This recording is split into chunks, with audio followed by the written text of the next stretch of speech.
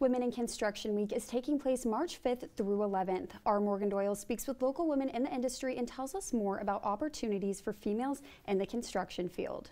Construction may be a male-dominated field, but there are many women in St. Joseph who have a passion for the industry. From a kid, I've always loved design.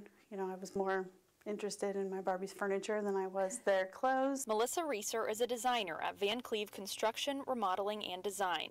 She says as long as someone has the drive and desire to be in the field, their skills can be put to good use. There's a mind shift in um, a woman being on a construction site versus a male just because of the way it's been for a long time. And it isn't necessarily wrong, it's just different. Younger girls starting out in the industry are learning that along the way. They're not like, oh, you're a girl, you can't do that because like that's what I thought was going to happen, but it's not like that. It's just I have to.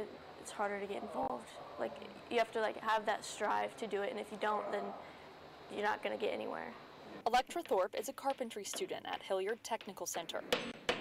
Her instructor, Brian Weed, says there are lots of opportunities for women in construction. There's a huge skills gap right now, and we're just trying to find skilled workers to take those positions. But this is an opportunity for both male and female. We have three ladies in the office and one in the field, and they are uh, invaluable to our team. Nicole Davis is in the field at Van Cleve Construction as a lead carpenter. She's involved in every step of the remodeling process and has advice for future women in construction.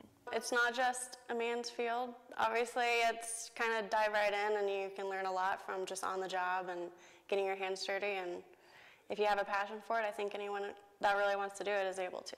Morgan Doyle, News Press Now.